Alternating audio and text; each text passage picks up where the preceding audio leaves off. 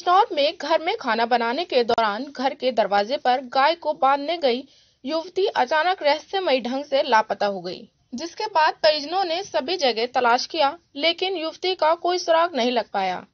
इसके बाद परिजनों ने पुलिस को तहरीर देकर युवती को तलाश करने की गुहार लगाई। दरअसल, बिजनौर थाना कोतवाली शहर के मोहल्ला मिर्दगान निवासी ईरम नाम की युवती खाना बनाते वक्त घर से बाहर निकली और अचानक लापता हो गई। परिजनों ने सभी जगह तलाश की और शुभ चिंतकों से भी जानकारी ली, लेकिन युवती का कोई सुराग नहीं लग पाया है। लापता युवती की माँ का कहना है कि उनकी बेटी घर के बाहर पशुओं को बांधने गई थी, तभी अचानक लापता हो गई। फ़िलहाल पीड़ित परिवार ने पुलिस को मामले की सूचना देकर युवती को तलाश करने की गुहार लगाई है। बिजनौर से तुषार वर्मा की रिपोर्ट। जो है, क्या हमारी लड़की खाना बना रही थी। अब तीनों चारों सामने बैठ